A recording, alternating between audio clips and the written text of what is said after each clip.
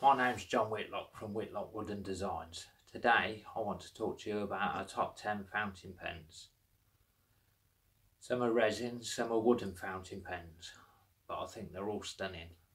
Let me know what you think.